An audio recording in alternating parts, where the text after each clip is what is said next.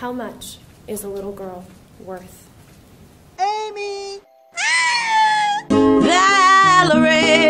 He expanded women's rights in society, including eyelashes that made my nipples fall off.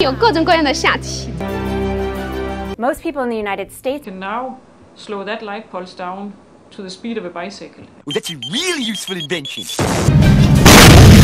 I suppose really uh, our problem here is that we are just a small island. And to most of the world, we are the terrorists. In today's Iran, people are less likely to hate Americans. Here's a Pepsi ad in which Kendall Jenner throws her wig at a black woman. That make me crazy.